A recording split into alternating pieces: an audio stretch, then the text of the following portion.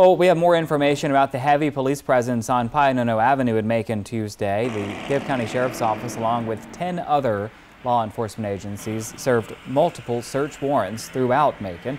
During those searches, law enforcement recovered more than $25,000 in cash, 12,000 grams of meth, 154 grams of ecstasy, 87 grams of marijuana, and four guns.